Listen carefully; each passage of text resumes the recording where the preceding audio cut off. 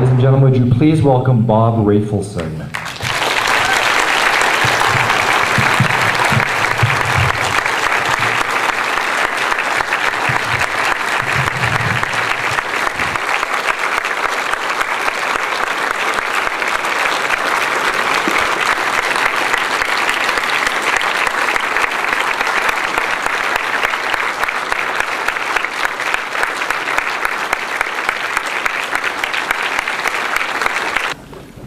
So Bob, I just want to thank you again for making that movie. That Five Easy Pieces, amazing film. And uh, I just wanted to ask um, Bob a couple of questions, and we'll open it up to the audience. Um, I wonder if we could talk about sort of the genesis of Five Easy Pieces. And what I've always wondered watching the film is that what makes it so great to me is that it seems so intensely personal and almost autobiographical. So I'm wondering how much of you is in the film since you co-wrote it and directed and produced it. Um,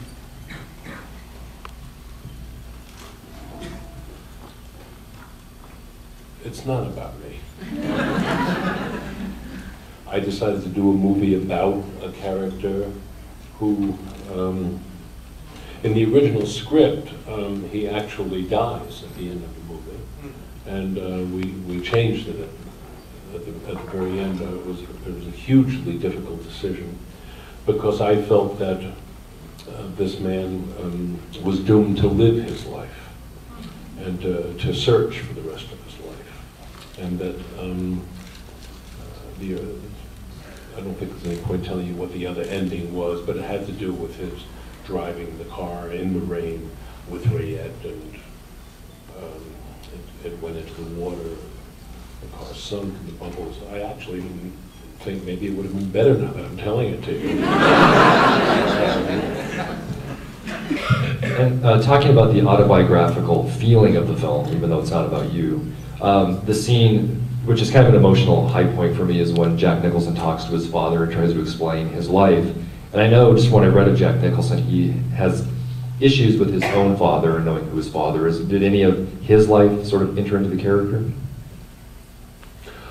Uh, no, I don't think. I, well, well, of course, um, his life leads him to that point um, where he's he's performing, um, and so all of his life um, takes him there. But uh, Jack's life is is is, uh, is a comedy. Uh, it's absurd. He never knew who his. He found out who his mother was, who turned out to be his sister. Um, during one of the movies that I was making with him, he got the news that day. Uh, so um, his family background doesn't make any sense with regard to th that movie. Interestingly, uh, Jack didn't. Now, uh, he, you're talking about the scene where he talks to his father, right? Now, Nicholson didn't want to do the scene. Um, he hated it. Um, and um, uh, I literally had to work very, very hard uh, to, to break his will on this particular issue because he didn't want to cry. And uh, I said, look, I have to see the underbelly of the character, otherwise this movie is not worth my making. And, um, and we, we talked about several different places, but this, this became the place. Um, and Jack said, no, no, no. And then um, I think, as I remember it now, I said, but Jack, you know, in your life, I've seen you weep more than once, uh, and over things that would probably seem trivial to other people. And he said that that's very unfair of you as a director to, to talk about my life that way to me. And I said, um, no, no, that's uh, the ultimate expectation of, of me directing you, that I do know a lot about your life. Okay, give me the fucking script.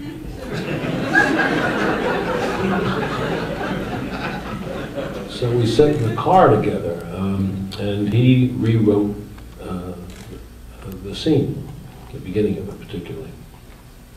And uh, said, all right, let's do the goddamn thing. So I, I went outside and, um, we, we planted the camera and locked it off. I put Jack in front of the camera over there. So, As you saw, shot, I don't know, cut off at the chest or something.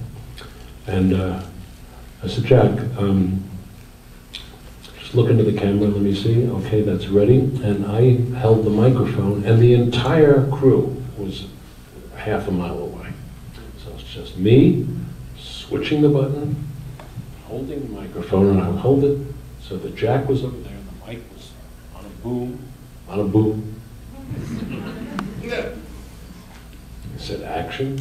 I flipped on the camera. And then he did the scene. I, I'm not looking at it. I said, are you done? He said, what the fuck are you talking about? Am I? You're not even watching the scene. You brought me out here. You not even watching the scene. You don't know if it's over. Say cut, you fucker. Stop. I said, okay, cut. I said, well, let's do it again for safety. He said, no. And he walked off, and that's it, just how it happened.